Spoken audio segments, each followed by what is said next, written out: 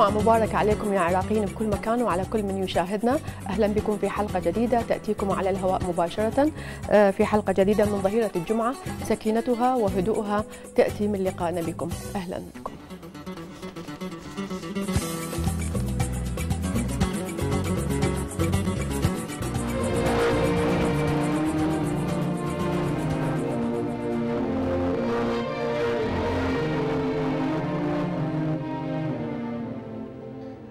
المجتمع العراقي كان رائد بين المجتمعات العربية فقرتنا الأولى بين الأمس واليوم هناك العديد من التغييرات التي طرأت على المجتمع العراقي تتعلق بجوانب عدة سواء في السلوكيات في الملبس وانسحبت على أشياء كثيرة.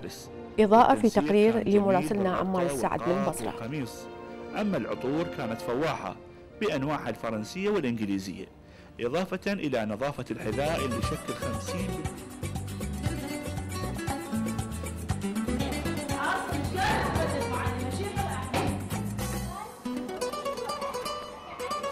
وفي فقرة أحباب الروح نتعرف على المشاكل التي تحدث بين المدرسين وبين الطلبة والسلوكيات الخاطئة عند بعض الطلبة.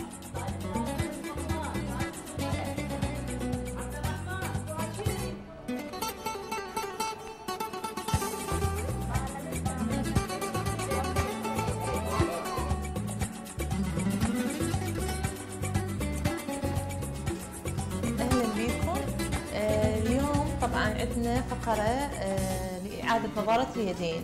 طبعا أكو مشكلة دائما الناس تواجهها آه، إنه اليدين ما يهتموا بها مثل الوجه. فقره حواء تعرفنا الدكتورة اختصاصيه التجميل رغد القيسي على أحدث الطرق للحفاظ ومعالجة اليدين وإعادة الشباب لهما ضمن علاجات التجميل. أو آه، يعني نحس إنه حتى كأنه المرأة يعني أكبر من عمرها الحقيقي نلاحظ اليدين. بس مثلا نشوف وجهها لا نشوف وجهها مرتاح ومهتمة به ولا كأنه.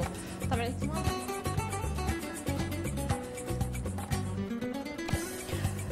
سلامات اليوم نقولها للممثل الكبير والقدير يوسف العاني الذي يعاني من عارض صحي نأمل له الشفاء العاجل.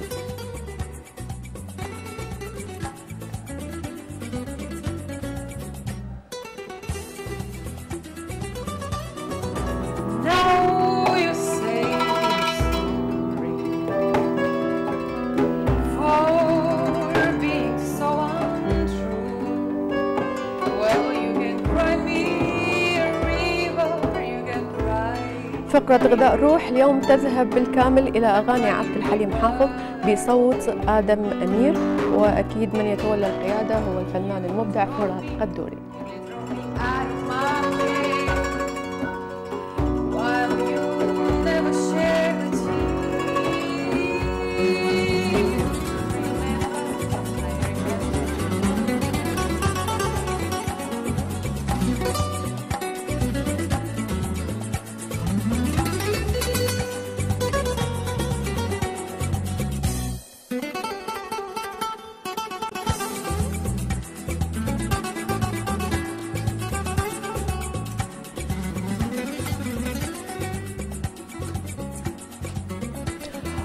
فقراتنا هي بين الأمس واليوم حيث شهد مجتمعنا العراقي الكثير من التغييرات الاجتماعية والسلوكية اللي أصبحت آثارها واضحة وخاصة لمن عاش فترات زمنية مختلفة. فكان شاهد على هذا التغيير اللي شمل مجالات كثيرة يعني بدءا من النظافة التعامل الملبس الأناقة طريقة الكلام المفردات اليومية اللي أصبحت سارية في مجتمعنا اللي كان يتباهى بأحلى الكلام والمفردة. يا ترى ما يتحمل ما وصل إليه مجتمعنا من حال؟ وما هي الأسباب اللي قادته إلى هذا التغيير؟ البعض يقول عنه سلبي. إضاءة في تقرير مراسلنا عمار السعد من البصرة.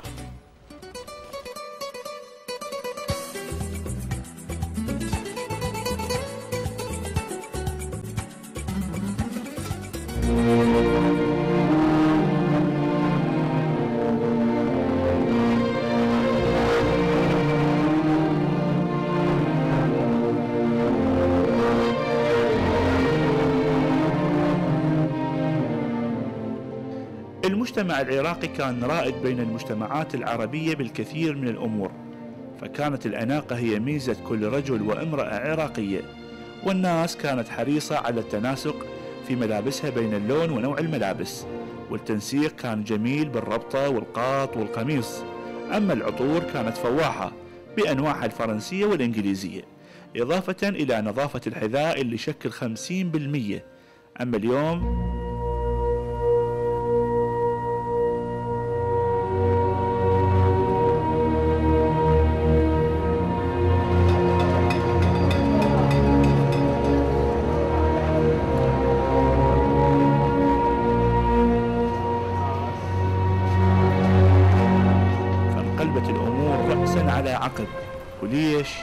ما ندري. يعني مثلا تصير وقت حفلات كذا تشوف إنه الشاب دائما يهتم. نعم. لناقته الكذا اللبس ال- حتى الكلامه يعني. نعم. إي أما اليوم؟ اليوم, لا. شو شو أشوف إنه تراجع باللبس كثير. نعم. يعني الشاب ما قام يهتم بلبسه يعني مثلا تقدر تقول رايح للمناسبة آه، حتى لا خطوبة شوفه لابس لنعال ورايح تكرم. مو بهالشكل وهي هاي خطوبة يعني فد مناسبة حلوة. نعم. يعني بالأول أشوف لا إذا واحد مثلا يريد يروح الخطوبة شوفه متكامل. مزين شعره وجهه م- بدلته كذا متكامل. هسه لا تشوف الشاب يروح الخطوبه لابس له مثلا آه، ح- آه، نعال وقميص يعني يمكن بعض الأحيان شوف حتى وتي ما ضاربه. صح. هذا فرق كثير. برأيك ليش؟ والله في الظروف اللي قاعد تمر بيه يعني. جاي يجون هسه الشباب أغلبيتهم من يجون يشترون من عندنا. مو ذاك الذوق اللي يعني تطمح به يعني. ما يجون آه، يريدون الحاجة يريدونها اللي ببالهم نعم. إحنا نلبسهم إحنا نختار لهم اللون إحنا نختار لهم الذوق. نعم. يعني إحنا نساعدهم يعني بال- بالأذواق. يعني نلبسه نختار له نختار الألوان نختار له الموديلات نختار له الديزاين الجديد الموديلات النازلة الجديدة الشيء الطرحه الجديدة الجاية يعني.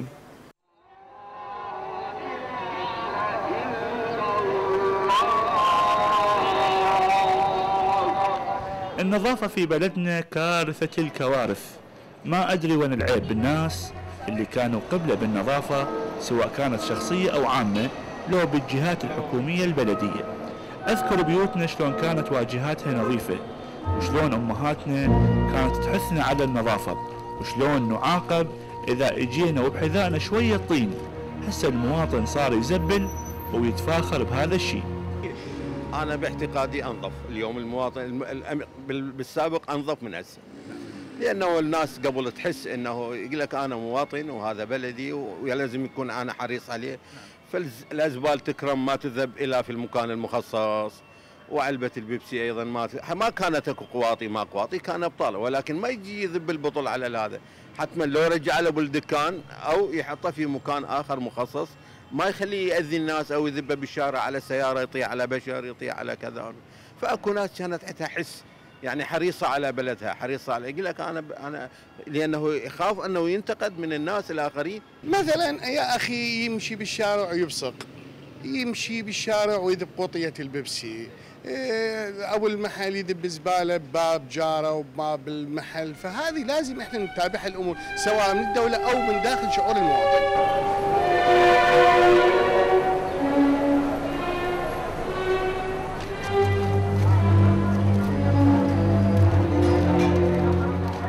دقمهن اشطح اشرد هلا خالي؟ يولن. أصبحت مفردات جديدة شائعة يتداولها المواطن العراقي. وراحت مفردات لو سمحت. عفوا آسف اسمح لي. بعد أن كان العراقي هو صاحب أحلى مفردة وأحلى قلم وأحلى تعبير. هواية يكون مصطلحات جديدة جاي نسمعهن يعني مثل خالي بدال لو سمحت مثل أو طريقة يعني حلوة. ال- عندنا أقلب دقمهن مو علينا. خلي يولن نعم. يعني هواية اكو كلمات جديدة. حكي للدبة أي. يعني هواية اكو مصطلحات جديدة يعني. المفردات؟ لا هي أكيد مو مو حلوة مو لائقة يعني بالتعامل خاصة يعني كتعامل الشباب المفروض يكون ذواق. هذا إني ما ننكر الواقع يعني وبعيد عن المجتمع. يعني إحنا ذني شغلات متخلفة و- وبتكون متكررة يعني وما لها صحة يعني. قبل شلون كانت؟ كان بالعكس على الطيبة وعلى الفطرة وعلى ال... وأكو تعاون وأكو يعني دليلك بدون هاي المصطلحات. خاصة هاي الأجيال هسه الحديثة. يعني بدأت آه، تلفظ ألفاظ يعني أكثر من الحد السوق المقرر لها وهي دقمهن وترك هاي السواليف وخاصة يعني عبرت آه، الإنسان ظلت حتى على الستوتات وعلى السيارات ها اترك لي مخطوبة وألفاظ كلش يعني يعني ما مو مال شعب عمر ثقافته 3000 سنة قبل التاريخ و... وعلى حضارته. مفردات موجودة بالسوق هسه موجودة يعني أنا من بغداد موجودة بالبصرة القاه بغداد القاه بكل المناطق بس هي مفردات ما حلوة أصلا. مثلا يعني. يعني الظاهرة جاتنا ما حلوة يعني. مثلا إحنا قبل كنا نستخدم مثلا من رخصك بلا زحمه عليك يعني رحم الله والديك. يعني هسه ما اعرف الدب دقومين ما أدري شنو ما أعرف مين جاية هاي. بس هاي تتبعها جاية يعني هم التربية والمدرسة.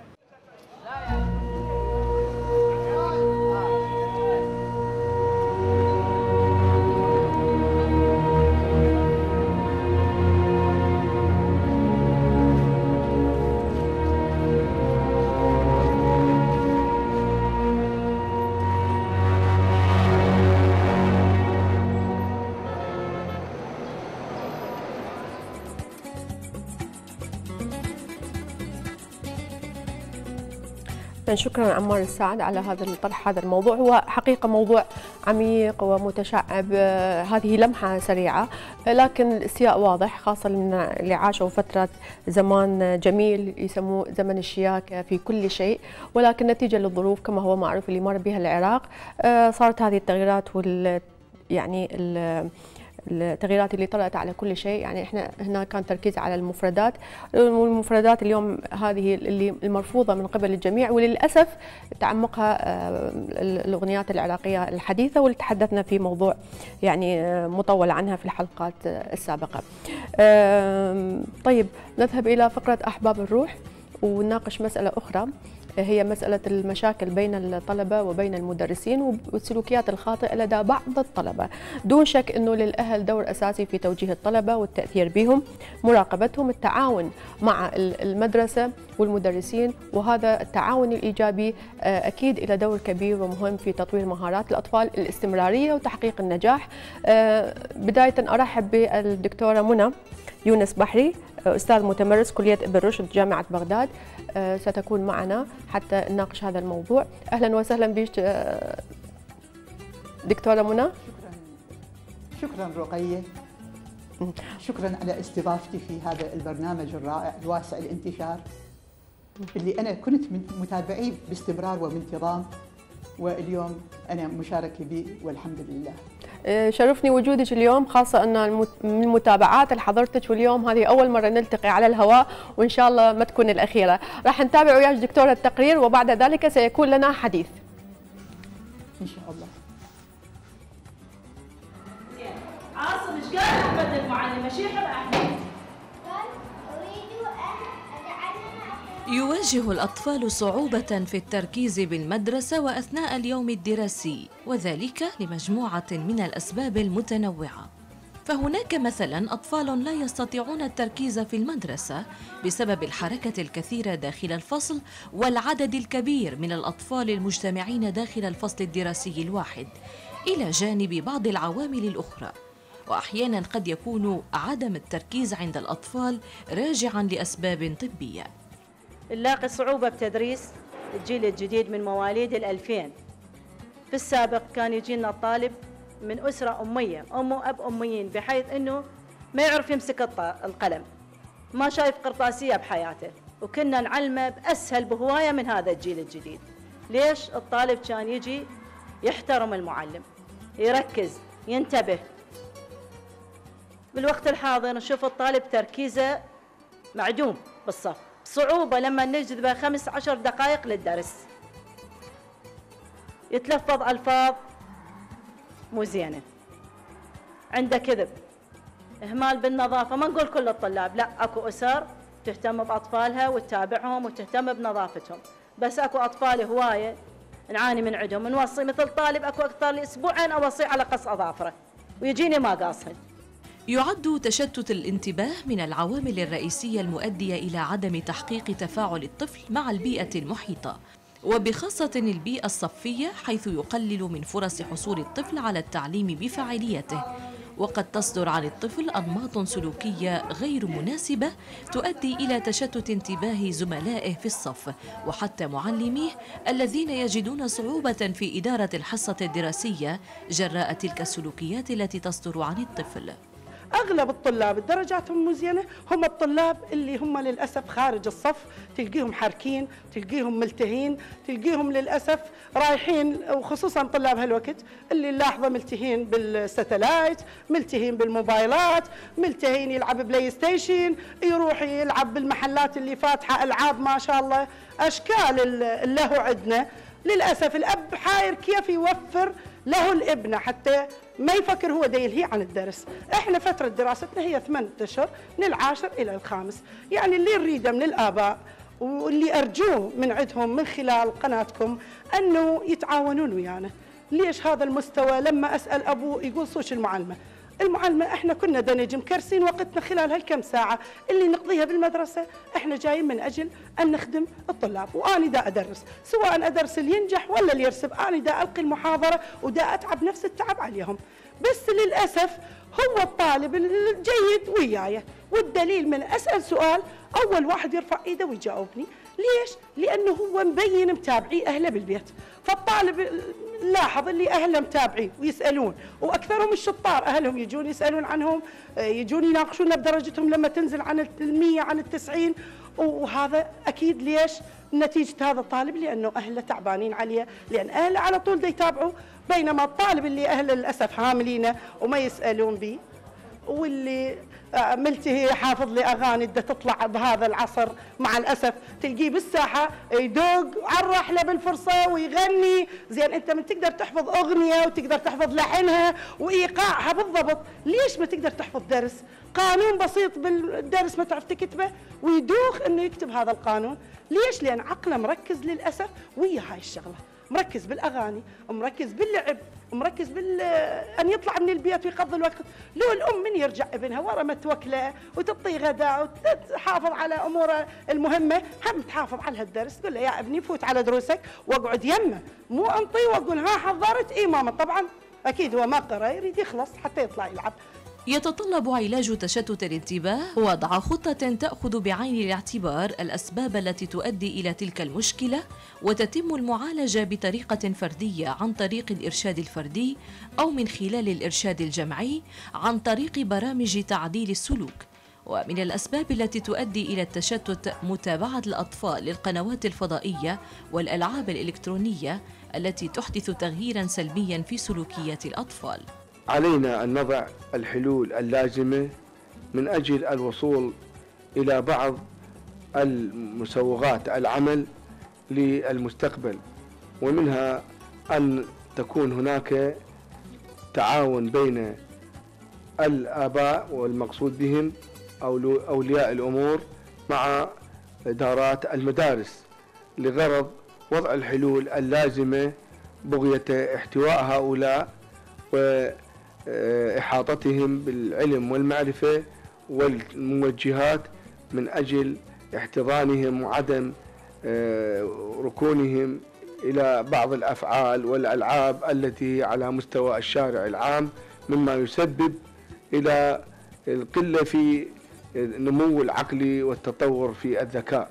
ودائما فإن للأهل دورا أساسيا في توجيه الطلبة والتأثير فيهم من حيث مراقبتهم والتعاون مع المدرسة والمدرسين حيث إن هذا التعاون الإيجابي يسهم في تطوير مهارات الأطفال والاستمرارية وتحقيق النجاح.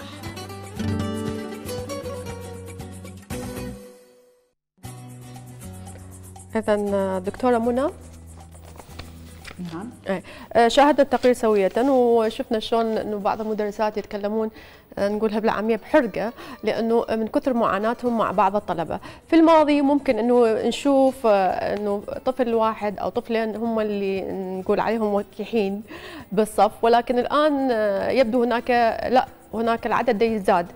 فإحنا دائما نأكد إنه التعاون بين المدرسة والأهل هو اللي راح يكون مثمر وهو يجيب نتيجة ولكن للأسف ما زال هذا الدور غائب أو إنه الأسر آه، تغفل عنه تغفل عنه وبالتالي تؤدي إلى مشاكل. اليوم أتمنى إنه آه، الخطاب يكون موجه للأهل بالدرجة الأولى آه، عن وتعطيهم هيك مفاتيح لكيفية إنه يتعاملون أو يوجهون أطفالهم. حتى يكون يومهم الدراسي يوم هادئ وممكن انه هم يعني يمشون بشكل طبيعي في المدرسة بدون مشاكل.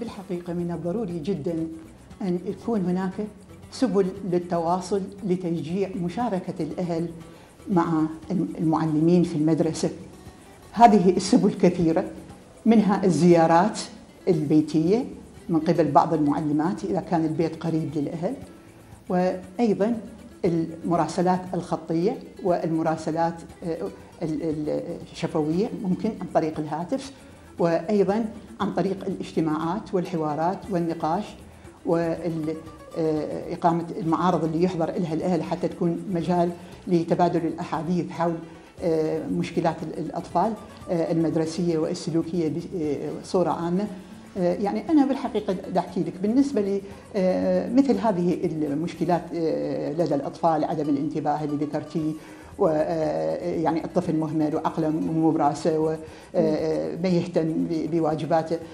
يعني أنا أشوف من دراساتي ومن خبراتي الطويلة طبعا في هذا المجال يعني أنه من الضروري أن يكون هناك دور فعال للطالب. أنا ألاحظ أن مثل هذه الفئة من الأطفال هي فئة مهمشة. الطفل لا يقوم بدور فعال في المدرسة في الصف. ينحى يعني عن المشاركة الصفية. الطفل يعني أحيانا يكون منبوذ من قبل الآخرين داخل الصف وخارجه في الساحة.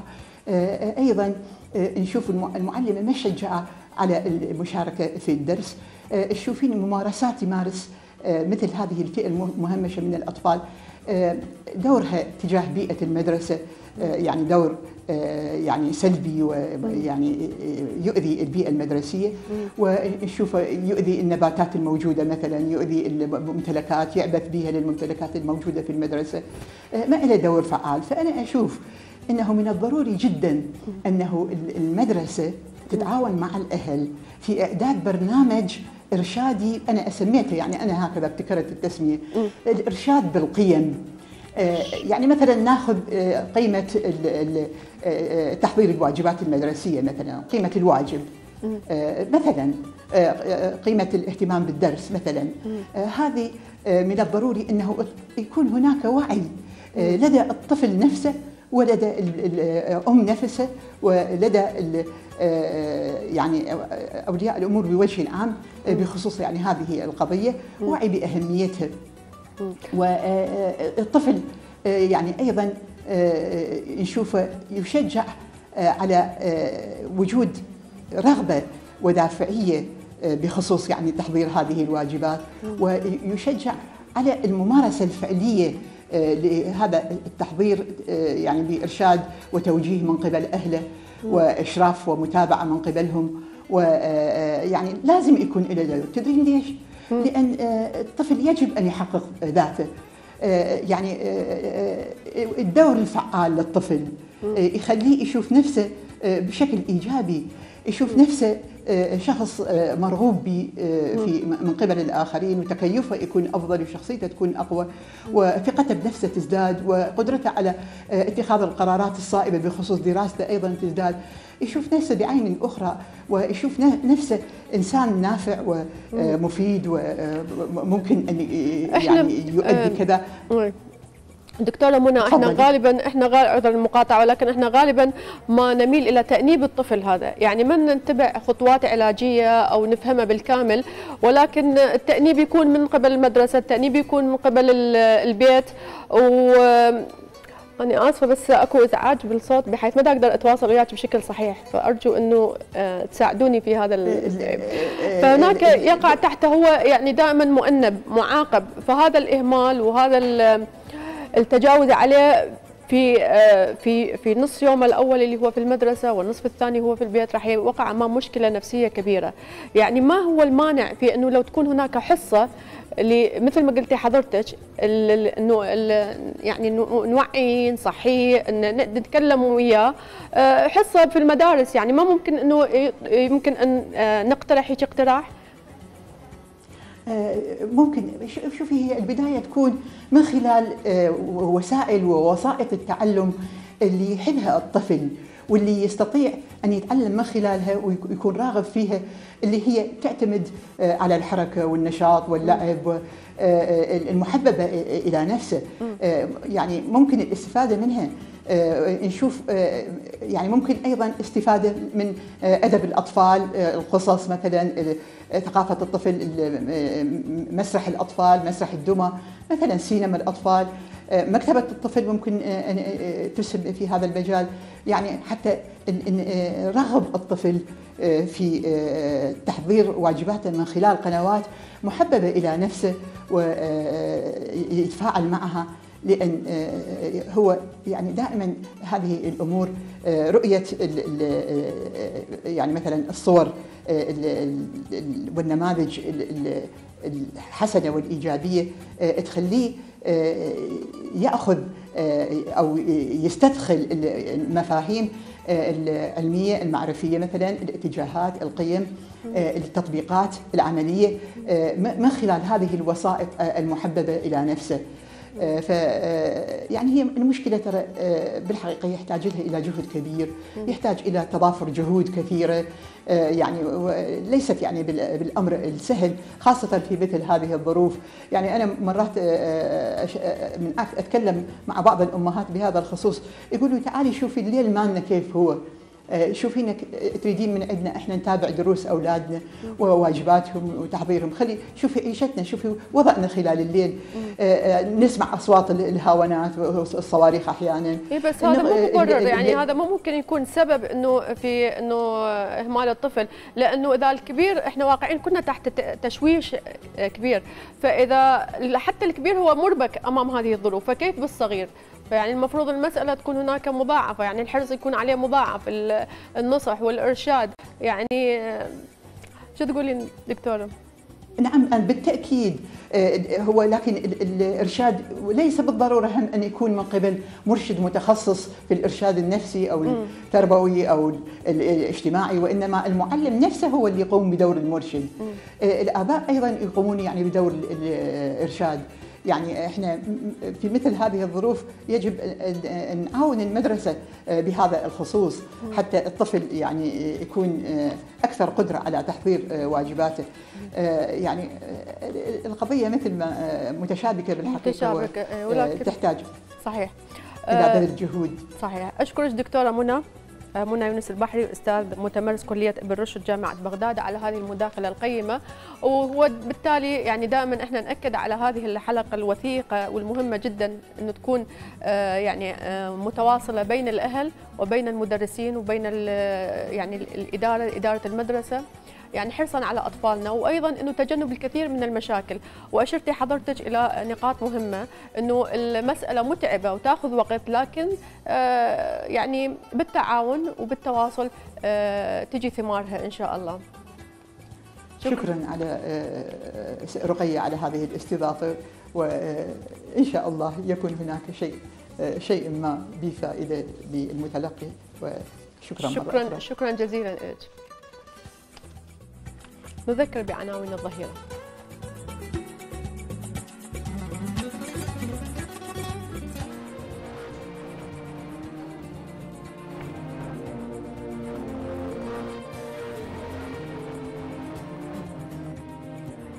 بين الأمس واليوم هناك العديد من التغييرات التي طرأت على المجتمع العراقي تتعلق بجوانب عدة وبسلوكيات كثيرة. كانت هناك إضاءة في تقرير عمار اللون السعد من ونوع البصرة على. هذا الموضوع. والتنسيق كان جميل بالربطة والقاط والقميص. أما العطور كانت فواحة بأنواعها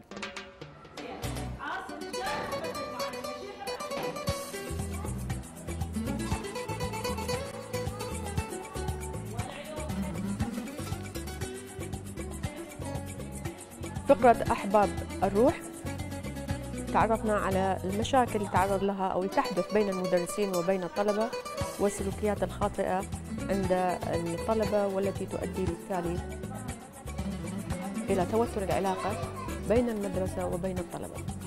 ومثل ما أكدت لنا الدكتورة منى على ضرورة إدامة الصلة بين الأهل وبين المدرسين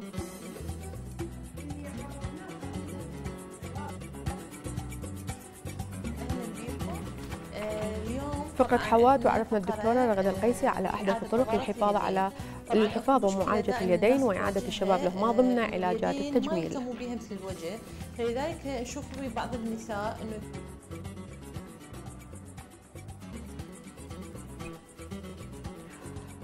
سلامات اليوم نقولها للممثل القدير يوسف العاني الذي يعاني من عارض صحي ونأمل له الشفاء العاجل.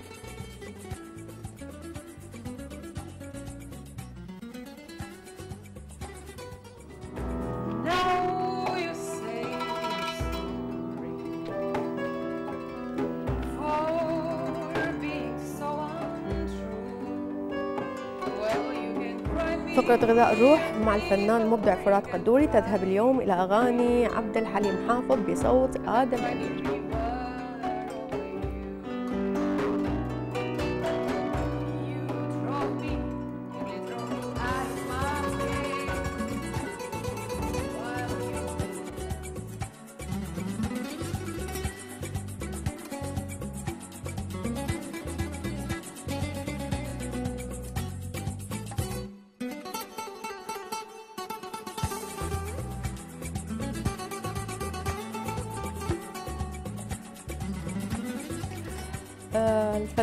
الكبير والقدير يوسف العاني المقيم في عمان.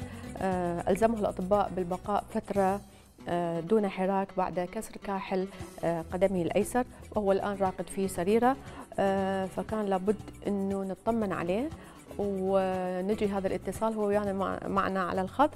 ألو؟ ألو؟ ألو ألو. ألو السلام عليكم أستاذ. أهلا عيني أهلا أهلا بست رقية. جمعة أهلا مرحبا. جمعة مباركة والحمد لله على السلامة. نريد نطمن على صحتك. الله يسلمك. شكرا جزيلا.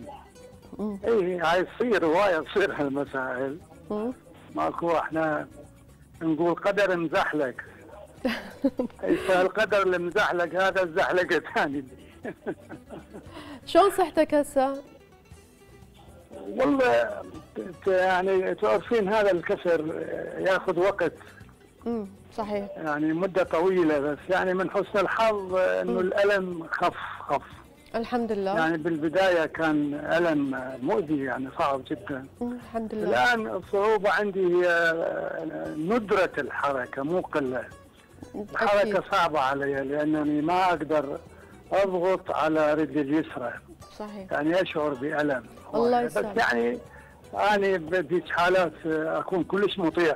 مطيع الطبيب هوايه و... و... يعني ما أشاكس ما أشاكس. الحمد لله. سلامة لك يعني صعبة القضية. العفو اي ات... يعني انت شلونكم يابا؟ إحنا زينين والله مشتاقين لك. كم مرة وعدتني تجي وتكون ضيفي؟ بس متى تصير والآن ويا هذا الكسر آه. أكيد راح تتأخر شوية. لا هي على كل أني يعني بعد كم يوم يصير الأسبوع الرابع. وهي حسب ما قيل لي إنه المدة ما تتجاوز ستة أسابيع. أقدر أمشي يعني أقدر أمشي بشكل يعني بدون مبالغة بي. هو هي مشكلتي يعني من واحد يلاقيني بالشارع يقول لي شلونك أستاذ يوسف؟ أقول له والله دا أمشي زين ها.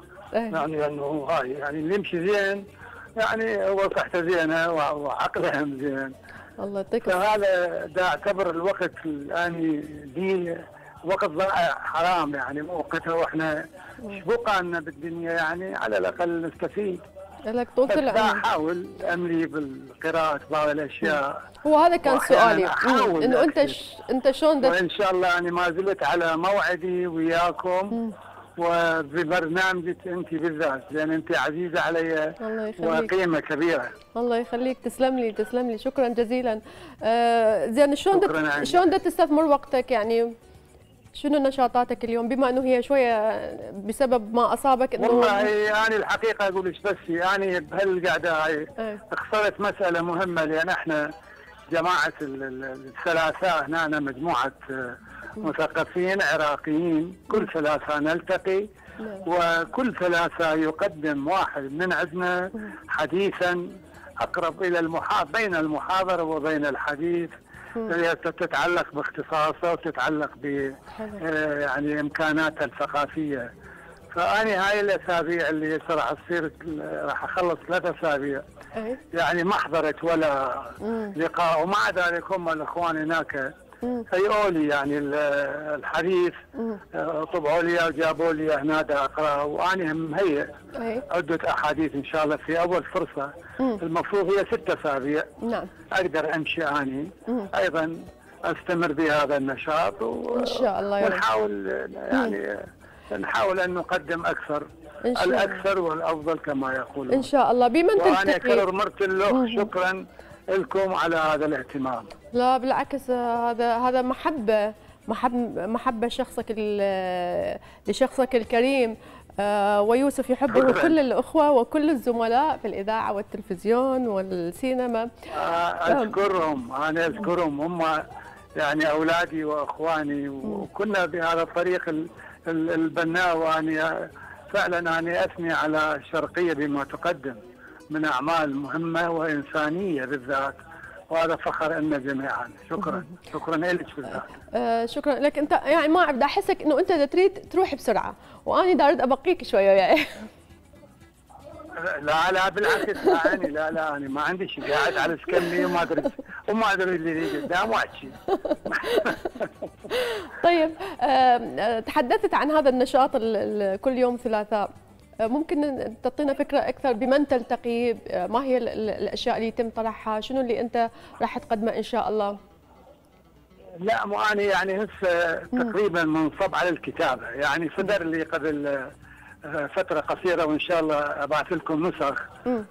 كتابي ال 25 تسلسل الكتاب 25 آه، وهو شخصيات وذكريات المجموعة الثانية.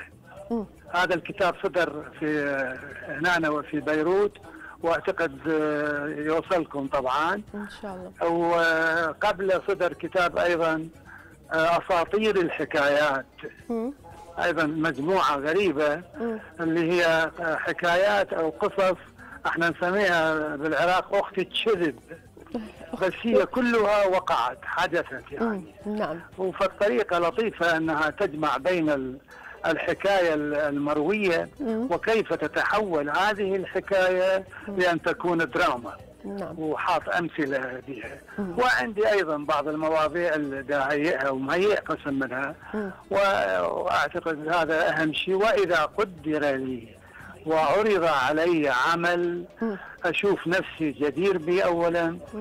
ويتناسب معي يعني معي أقول مع عمري اولا. ومع آه، وجودي يعني كفنان نعم. معروف بما قدمت.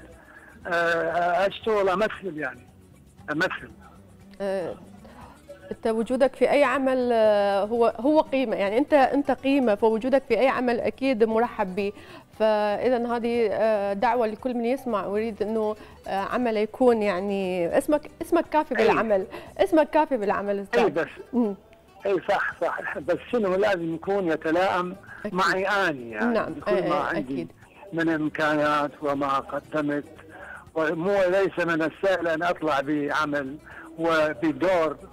آه، ما يتناسب ويا هالعمر هذا الطويل. يعني أنا هسه عمري المسرحي صار 69 سنة. ما شاء الله. يعني أنا وقفت على المسرح يوم 24 شباط سنة 1944 فهذا هذا عمر. تاريخ هذا أنا أتمنى دائما وأصر على أن يبقى هذا العمر أكيد. ومشرق ومفيد للناس وممتع في نفس الوقت. بعد سألني تسألك آه، لا ما أنت كريم وياي كنت فأنا شو راح أعوف الظهيرة وأجيك شو تقول؟ أجيك؟ احس. أحس في تقصير شكراً. تجاهك بس الحمد لله بيناتنا التليفون هو اللي يطمني عليك وأظل أنتظر جي يعني، أظل. أنتظر جيتك لا، وفارغ الصبر للظهيرة أنا أنا رقية أنا أعتز بيك وأفخر وأجاهر يعني بهذا الله يخليك. تسلم. شكراً شكرا جزيلاً. لك الصحة والعمر. إن شاء الله ودائما نسمع عن كل أشياء آه، حلوة من عندك وما أحلاها روحك هاي. شكراً. إنه إن نأخذ من شكراً عندها وتحياتي شكراً. للكل يوصل. الصغير والكبير. يوصل إن شاء الله. شكرا جزيلا لك. شكرا جزيلا لك. ونواصل ونذهب إلى إلى فقرة حواء.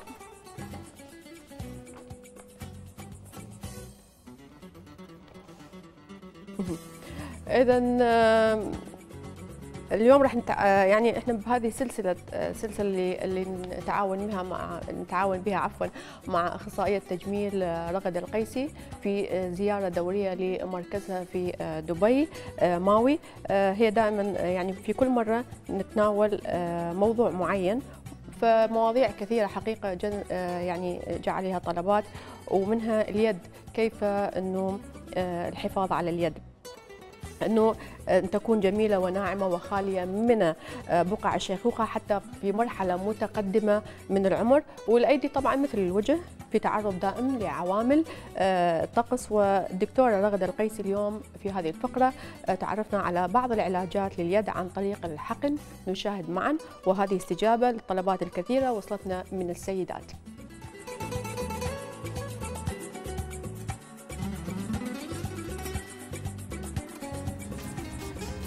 أهلا بكم آه اليوم طبعا عندنا فقرة آه لإعادة نظارة اليدين. طبعا أكو مشكلة دائما الناس تواجهها آه إنه اليدين ما يهتمون بها مثل الوجه. فلذلك نشوف بعض النساء إنه يكون وجههم مثلا معتنين به ومرتب وكل شيء بس الايدين يا إما يكون البشرة مالتها جافة أو العروق باردة أو يعني نحس إنه حتى كأنه المرأة يعني أكبر من عمرها الحقيقي من نلاحظ اليدين. بس مثلا نشوف وجهها لا نشوف وجهها مرتاح ومهتمة به ولا كأنه. طبعا الاهتمام باليدين يبتدي من الغسول واقي الشمس نفس الاهتمام بالبشرة مال الوجه بالضبط. طبعا اليوم إيش راح نسوي؟ راح نسوي طريقة نحاول نعيد بها نضاره اليدين اللي يكون البشرة مالتهم تكون جافة أو علامات تقدم العمر أو تكون العروق بارزه مثلا لما يزيد الوزن ويضعف الوزن وكذا. فبهالطريقة هاي حنحاول إنه نعدل البشرة ونعيد النضاره لليدين ونخفي العروق البارزة. طبعا الآن حنبتدي بالطريقة مال العمل. طبعا الآن حنبتدي بنبتدي بالإيدين نشوف نلاحظ إنه المنظر كيف. طبعا وهسه طبعا نكملها ونسوي لها تصوير عم تبين كيف النتيجة. طبعا نبتدي إحنا نسوي مناطق اللي حندخل من عندها نسوي لها تخدير. طبعا هي العملية ما فيها أي ألم إن شاء الله بس نسوي تخدير خفيف بس بالمناطق اللي حندخل من عندها.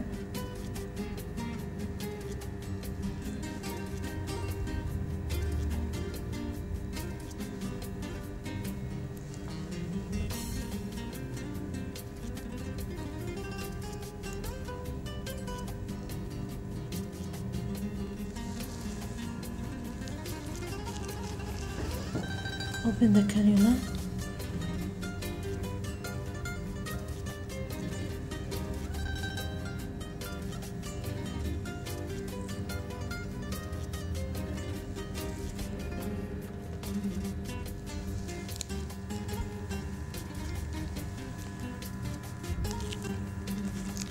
طبعا الآن سوينا الفتحات. الآن راح نبتدي ندخل المادة. طبعا هي المريضة ما تحس إن شاء الله بشي. نبتدي نحقن.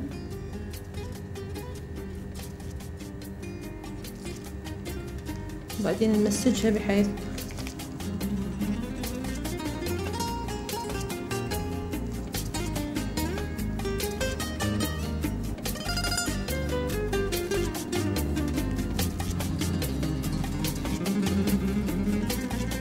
هي المادة هاي أصلا همينة لونها أبيض فشوية تنطي فتاحة للون مال الإيد.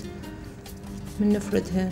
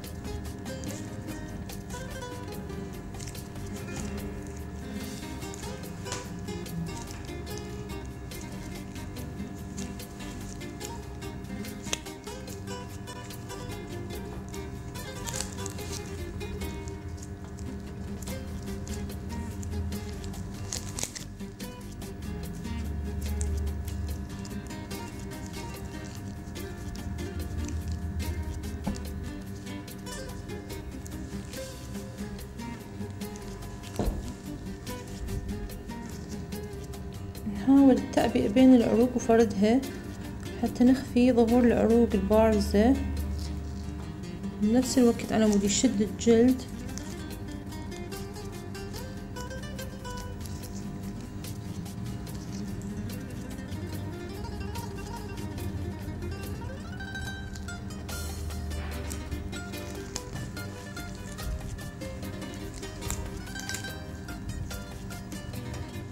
طبعا هاي المادة من نحطها آه، يعني ورا فترة حتى البشرة تتحسن لأن هاي تحفز كولاجين يتكون بالمكان اللي تكون فيه فنحس حتى البشرة من برا تصير أحسن.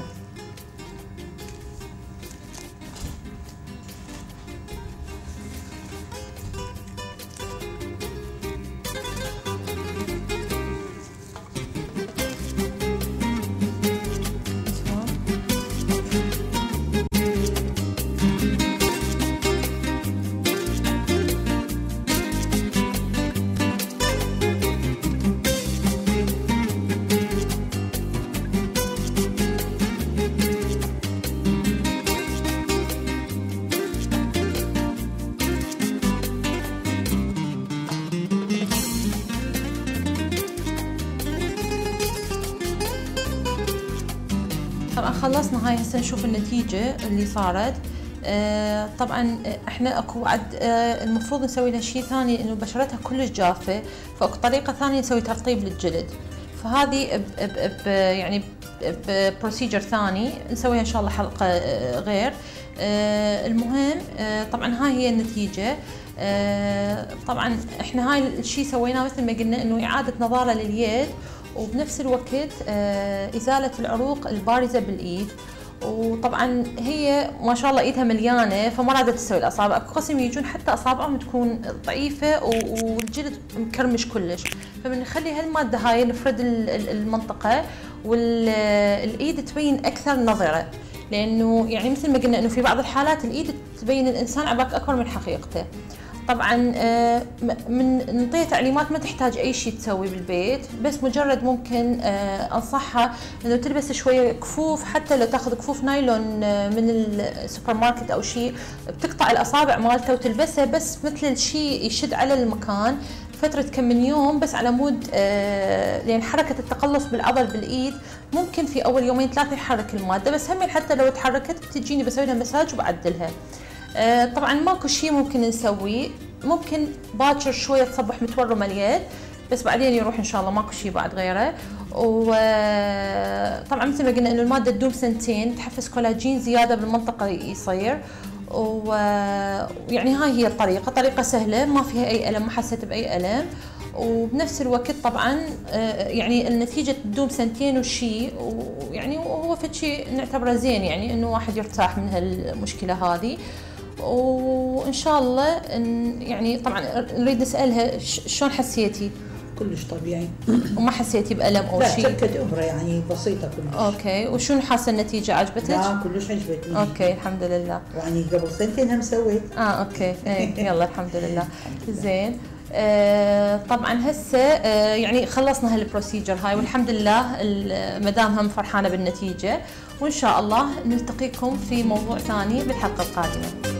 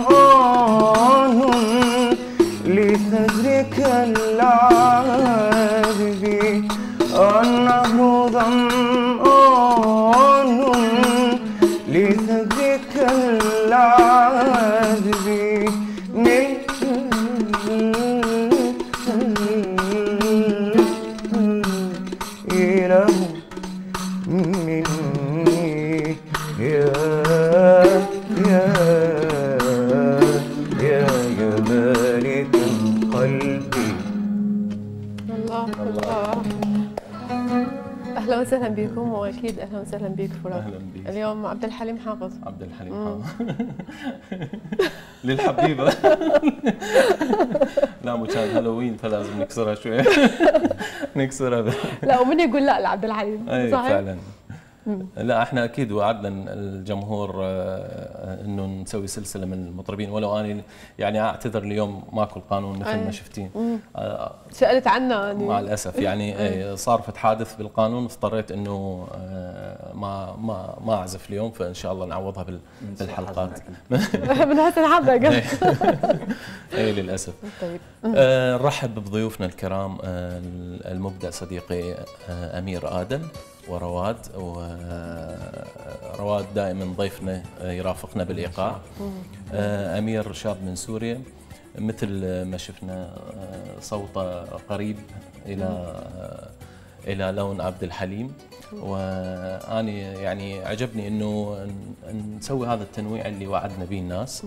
ف بداية إنه بديناها بيا مالك القلبي. فراح نسمعكم اليوم إن شاء الله كثير آه، من يلا إن شاء الله. كلنا سمع مم. هي كل أغاني عبد الحليم حلوة. كلها اليوم. كلها.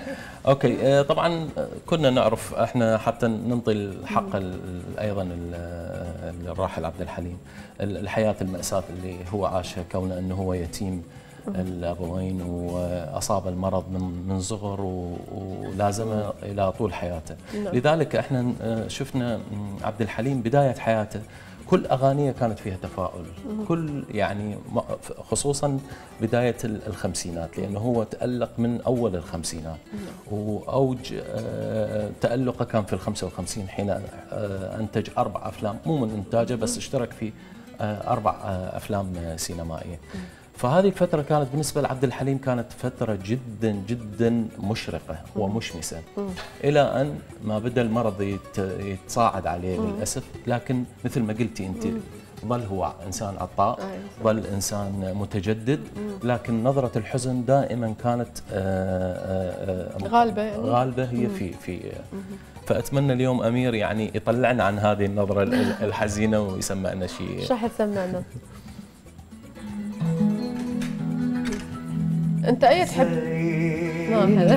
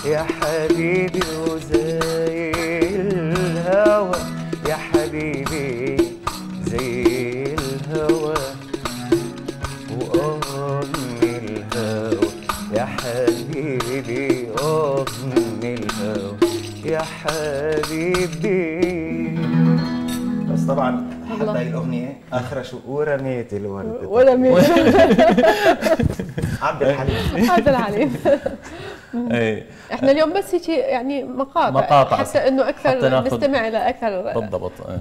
عدد آه، ممكن من أكيد عبد الحليم لما آه، برز بالبداية طبعا أول أغنية غناها على المسرح المسكين الناس اعترضت عليه بشدة آه. اللي هي آه،؟ كامل الأوصاف كامل. كامل الأوصاف آه، ليش؟ لأنه فعلا آه، بدأ بلون مختلف جديد جدا، يعني مقارنة مثلا خلينا نقارنها بال- بال- بالجيل الحالي.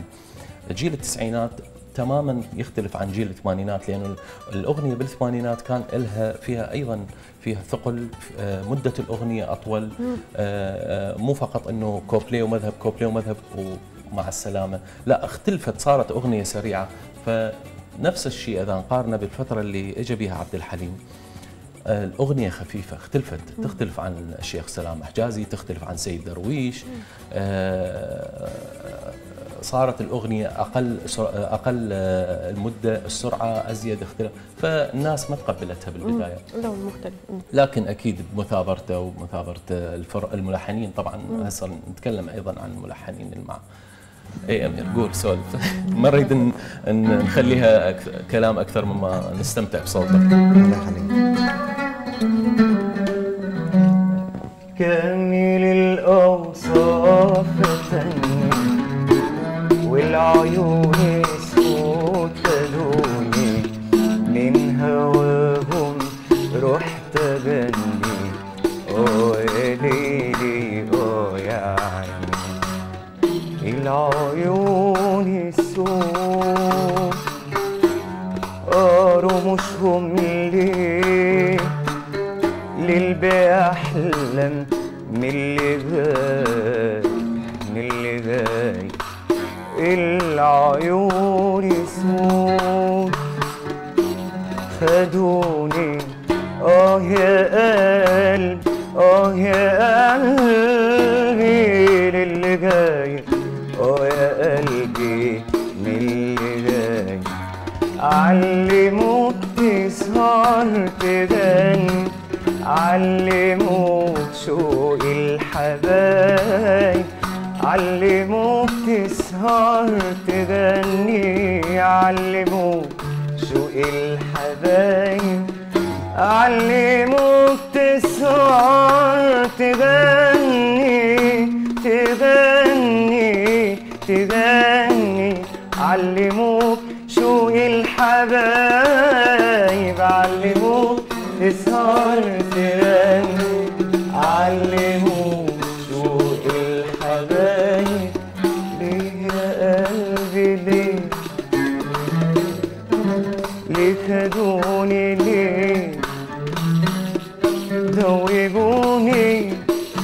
करोगे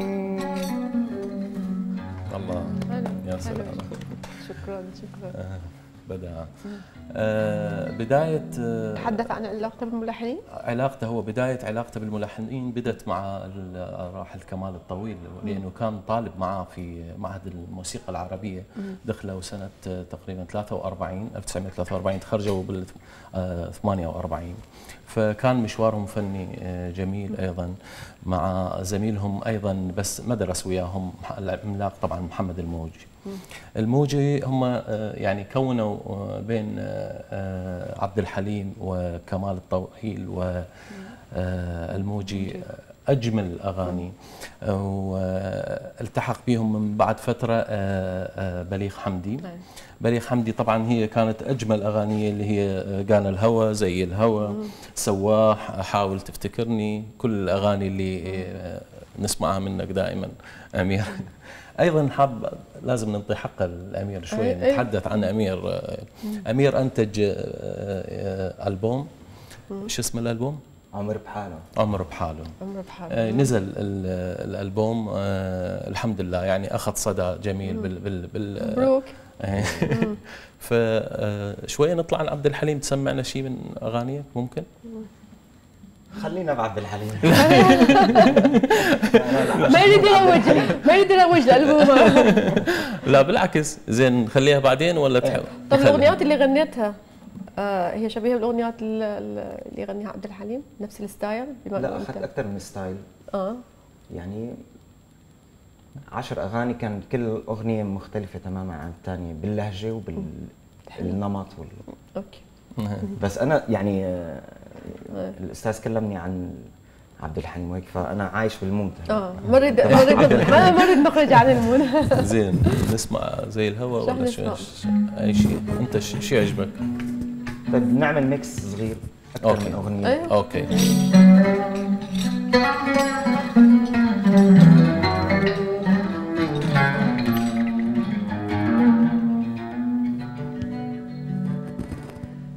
على قد الشوق اللي بعيوني يا جميل. وسلم أنا مع عيوني عليك سألوني. يا ما بتكلم على قد الشوق اللي بعيوني يا جميل؟ وسلم أنا مع عيوني عليك سألوني. بتكلم وبخاف لا تصدق يوم الناس وتدور أوصف للناس الجنة وأنا في النار بخاف لا تصدق يوم الناس وتدور اوصف للناس الجنة وأنا في النار بلا عليا ضيع عليا ارحم عذابي معك على الشوق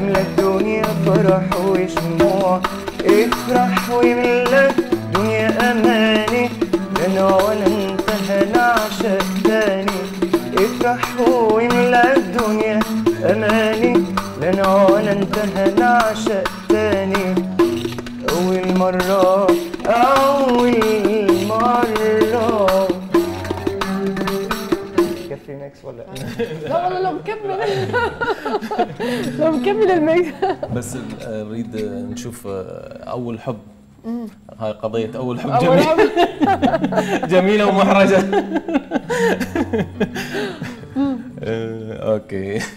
نتحدث ولا ت- عاجبك تغني؟ أنت شو حابين أنت زي ما زي ما أنت عاجب.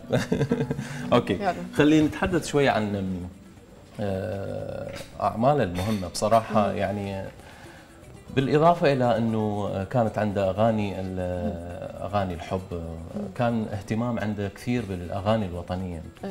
فيعني آه، اهتم كثير خصوصا بال- بالأحداث اللي صارت بمصر كانت له مشاركة جدا جدا قيمة يعني بصراحة آه، ومؤثرة غنى للراحل جمال عبد الناصر آه، أثر بصراحة. يعني أغانية يسموه إيه؟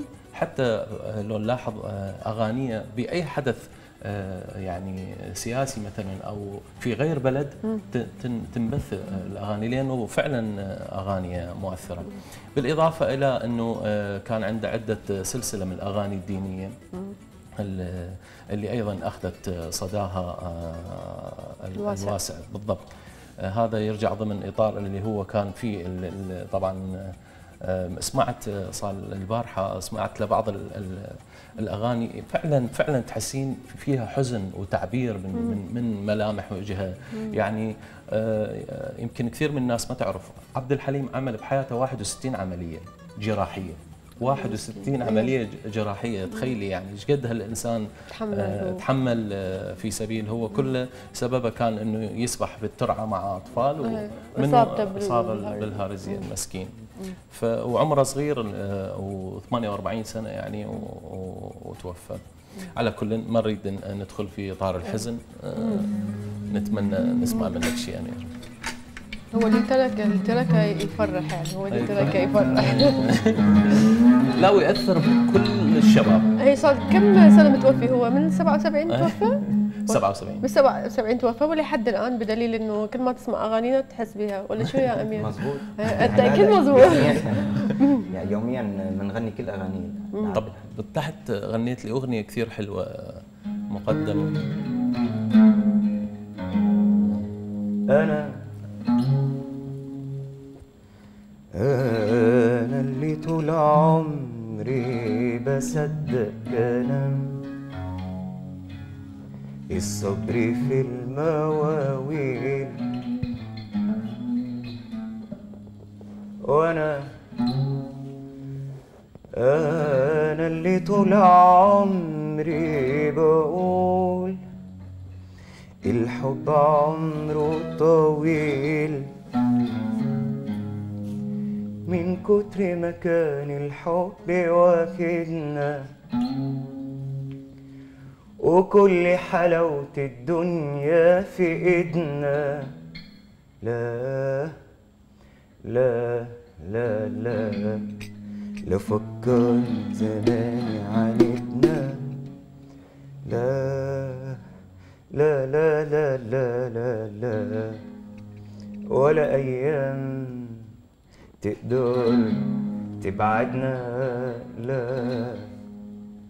وعاش عشنا الحب والأحلام وكل مرة في كلام أتاني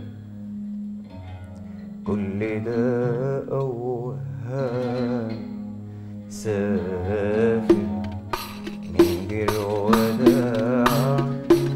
خلي قلبي جراحه دبي في ليل السهر والعيون مرتاحوا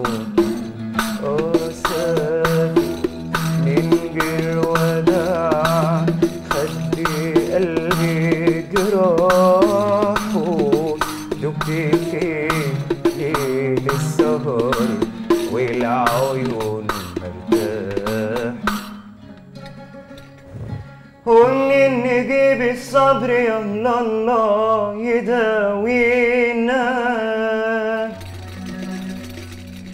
اللي انكعب الحب قبلنا يقول لنا وسافر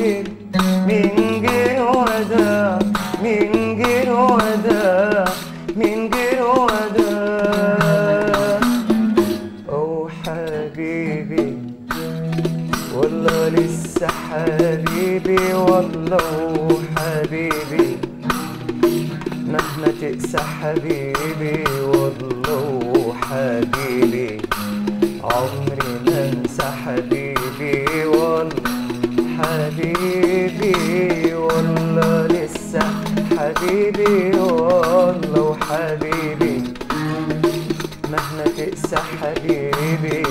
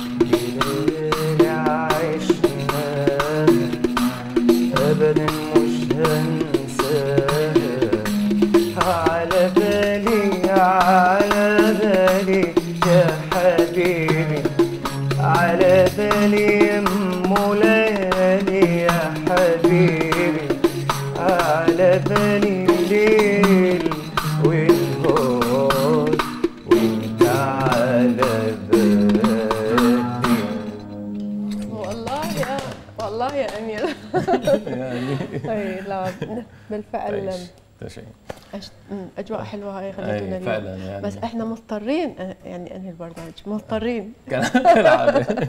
وقتي انتهى ويا بس المشاهدين أمير اريد منك بالختام شيء لك يعني. أي. آه أي أغنية من ألبومك الجديد؟ حتى تعرف الناس أيضا على أغانيك.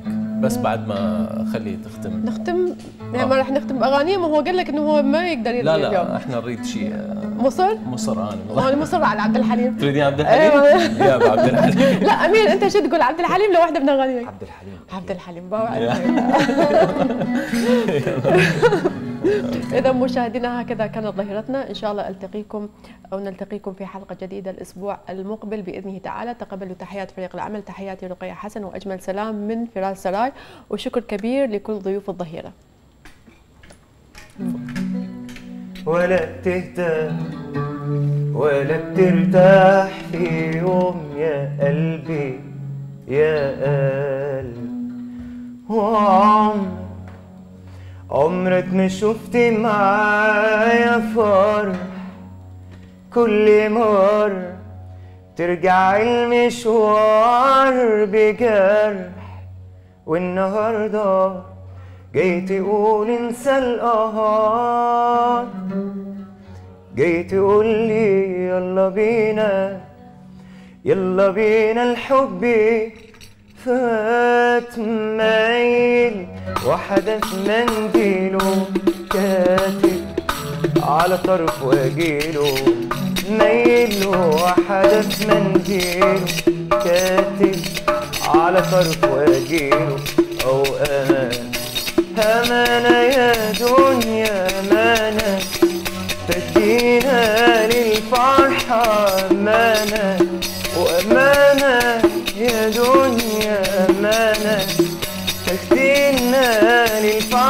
أمانة وتخلي الحزن بعيد عنا